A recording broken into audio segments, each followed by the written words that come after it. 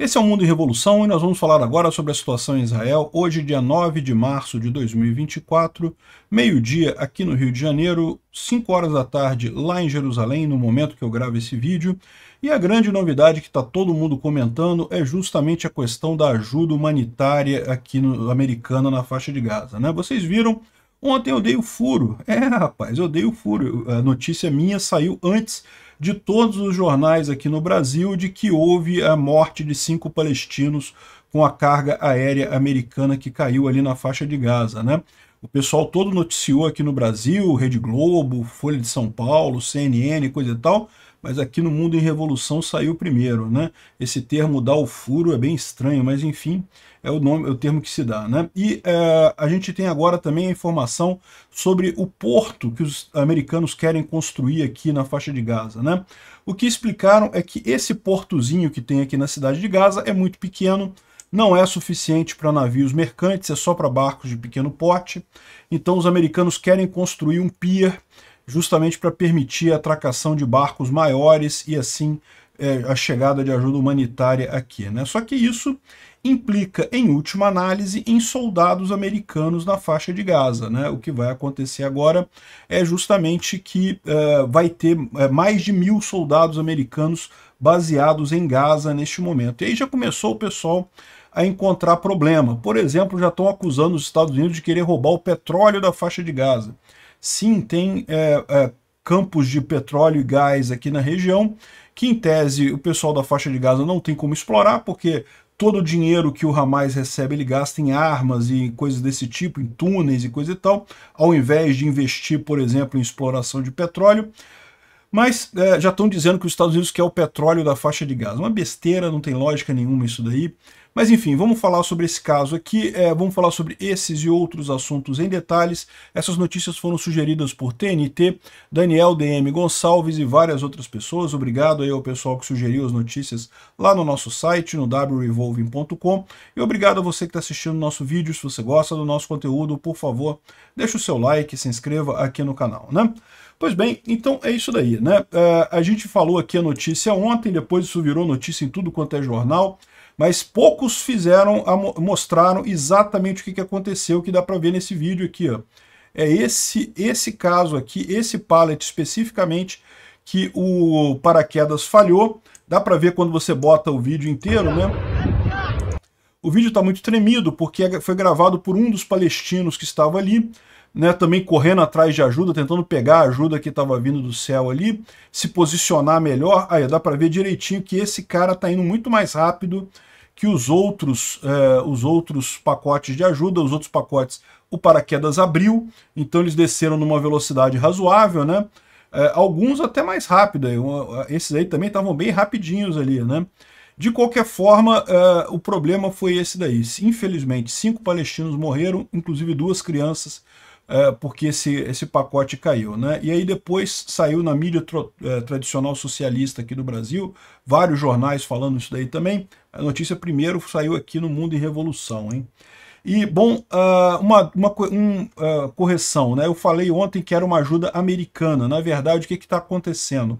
Vários países estavam mandando ajuda humanitária via avião, mas a gente falou sobre isso alguns dias atrás. Israel estava preocupado com esse monte de aviões de países árabes, da Jordânia, do Egito, passando em cima da faixa de Gaza, poderia expor informações das, eh, das, das movimentações das tropas israelenses na faixa de Gaza.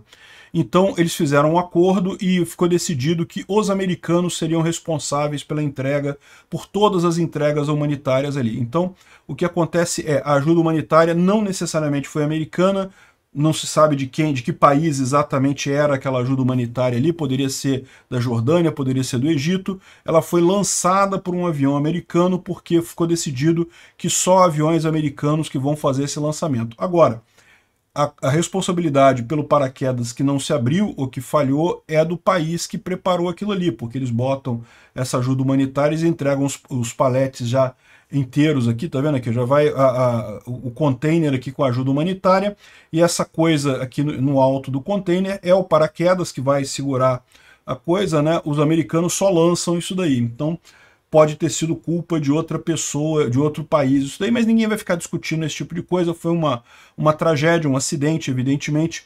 E uh, aqui eles continuam fazendo isso, né? Todos os dias agora os Estados Unidos estão lançando ajuda humanitária via uh, containers. Eu espero que o pessoal da Palestina também tenha uma, um aprendizado aí de não ficar debaixo do container, porque não faz bem para a saúde, né?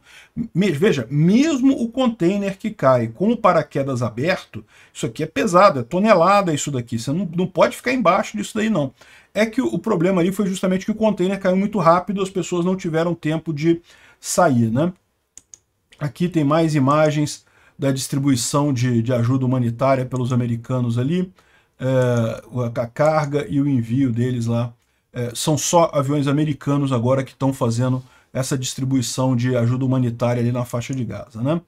Pois bem, uh, o David D fala aqui que isso é um absurdo que aconteceu. O David D é um, é um, um ex-militar americano aposentado.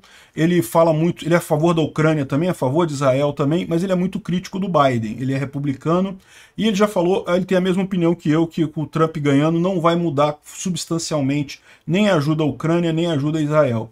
E aqui ele está criticando o Biden por isso, porque segundo é, é, disse, é, isso desde de um acidente que aconteceu na Bósnia em 1993, quando um desses containers de, de, de, ajuda humanitária caiu em cima de uma criança.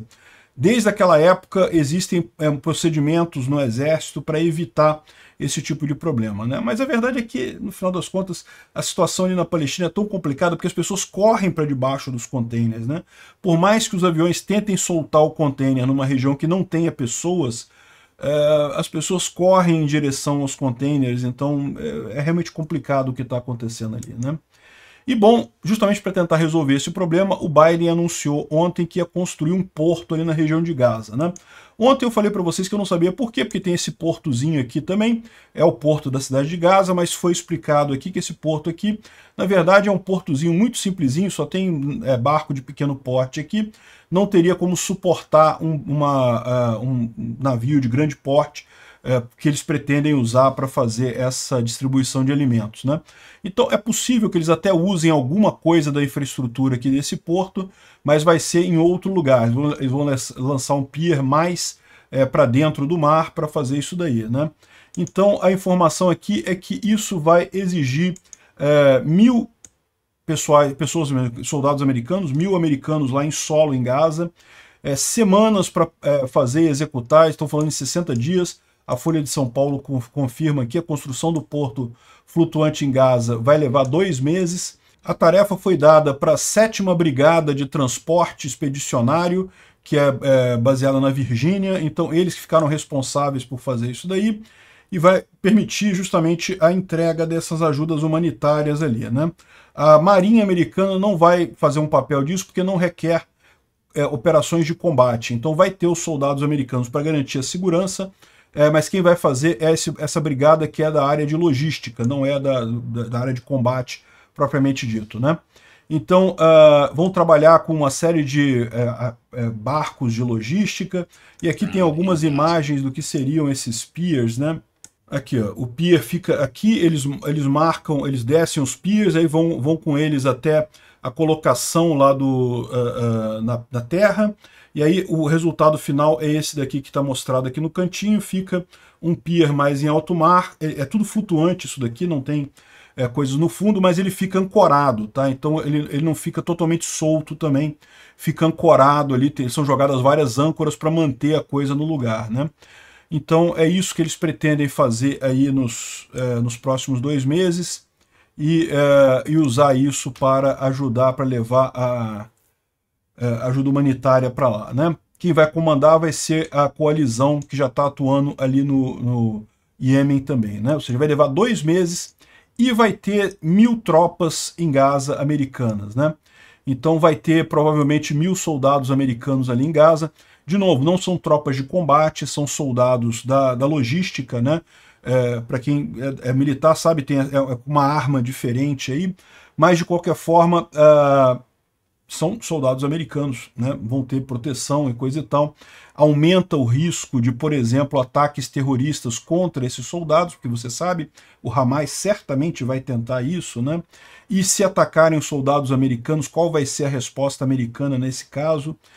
Eu não sei não, essa ideia do porto está me parecendo complicada demais e não sei se isso vale o custo da história toda. Mas enfim, Uh, e outra coisa que já tem gente levantando aqui, né, um monte de gente aí que tem aquela, aquela paranoia de que ah, os Estados Unidos querem só o petróleo e coisa e tal. É, houve uma época que, de fato, os Estados Unidos tinham um interesse muito grande em petróleo, porque ele sustentou o dólar com o petrodólar, pelo menos entre 1970 e até o início dos anos aí de 2004, 2008. Então, realmente, os Estados Unidos tinham uma, uma busca muito grande por petróleo. Petróleo é uma coisa escassa, é uma coisa que os Estados Unidos tinha que importar. Mas o que o pessoal não leva em consideração aqui é que os Estados Unidos hoje em dia produz mais petróleo do que precisa. Os Estados Unidos virou um exportador de petróleo graças ao fracking, graças ao gás de xisto. Né? É uma tecnologia nova que funciona muito bem, que não, não causa nenhum dano ao meio ambiente, se for feita da forma correta, funciona muito bem. O que você vê de propaganda aí de fracking que causou problema, que deu problema com a água, que acabou com a água, isso tudo é propaganda russa, porque os russos têm um medo enorme que outros países comecem a explorar o fracking, e com isso o preço do petróleo vai desabar. Né? Lembra que a, a principal commodity que os russos têm é o petróleo. Então eles, faz, eles, eles bancam toda essa campanha de comunicação de dizer que fracking é inseguro, que fracking faz isso, que fracking faz aquilo. Não tem nada disso. O fracking Lógico, se feito da forma correta, não causa dano nenhum e você extrai uma quantidade de petróleo fantástica. O Brasil está marcando o passo de não usar o fracking. Abandona esse negócio de pré-sal. Pré-sal não serve para nada. Usa o fracking, é muito mais barato. Em seis meses você bota um poço produzindo petróleo com fracking. Pré-sal são anos e anos o ciclo para você... Bom, eu estou mudando de assunto.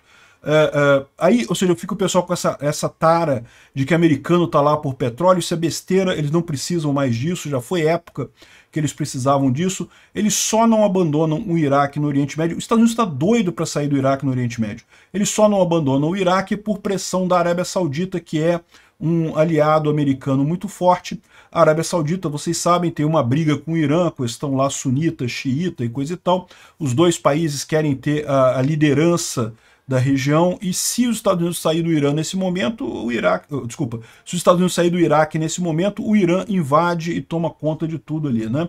Então sim, é verdade, existem algumas, alguns campos petrolíferos aqui na suposta área marinha aqui da faixa de Gaza, mas não é por isso que os Estados Unidos estão fazendo isso, eles estão fazendo isso para tentar realmente ajudar, para fazer ajuda humanitária. O Biden ele tem uma parte do eleitorado dele que é muito de esquerda, que é a favor dos palestinos e quer que ele faça alguma coisa, é o que ele está fazendo. Né? Bom, e uh, o, o pessoal da, da, das Nações Unidas não gostou diz que isso daí tem um, um, grande risco de problemas e coisa e tal, e pode ser mal usado, e é o que eu falo para vocês. Eu também acho que é problemático isso daí. Mas está na cara que o pessoal da UNRWA, lá da, da ONU, é, é, tá querendo é, é, manter o monopólio deles da ajuda aos, aos palestinos, né? Bom, então é isso daqui que eles estão querendo fazer, esse, esse é o porto flutuante que eles querem fazer, e vão ter tropas americanas lá na faixa de Gaza. O que, que vai acontecer quando o Hamas fizer um ataque terrorista e matar um soldado americano? Porque vai acontecer. O que, que vai acontecer então a gente não sabe, né? Bom, uh, uh, Israel teve a boa notícia de que teve sinal de vida de dúzias de reféns ali na faixa de Gaza na última semana, né? Eles não, não deram detalhes sobre que tipo de prova de vida que eles tiveram. Isso está tudo censurado porque provavelmente é de forma secreta.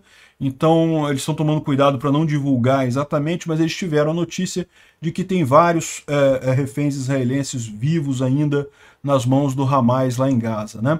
O Hamas disse hoje que sete reféns israelenses morreram em ataques do, de Israel mas o exército israelense diz que isso não, é mentira, isso é, é, a guerra psicológica do, do Hamas. Não, não morreram, não tem nenhuma evidência para provar ou desprovar isso daí, né?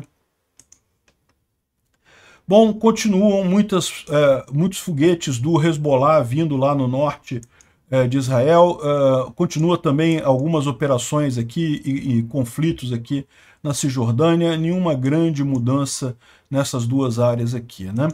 O Instituto para Estudo da Guerra fala exatamente sobre esse pier né, temporário, o porto temporário, que vai ser construído na faixa de Gaza para chegar com a, com ajuda ali. A gente já falou sobre isso, não vale a pena é, ressaltar. Um, um, ponto só sobre o Iêmen, né? O Iêmen, essa região aqui, é, os Houthis aqui, essa área vermelha, estão ameaçando os navios que passam aqui pelo Mar Vermelho e pelo Golfo de Aden. E uh, ontem a gente mencionou que um navio uh, teria havido um incidente. A gente não sabia que tipo de incidente, o que, que aconteceu.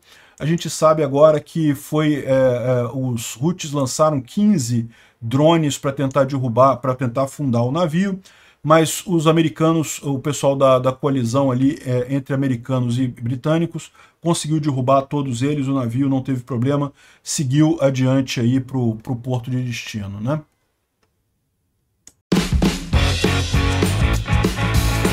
Obrigado por assistir o vídeo até o final. Se gostou do conteúdo, não esqueça de deixar o seu like, isso ajuda o canal a crescer e a chegar para mais gente.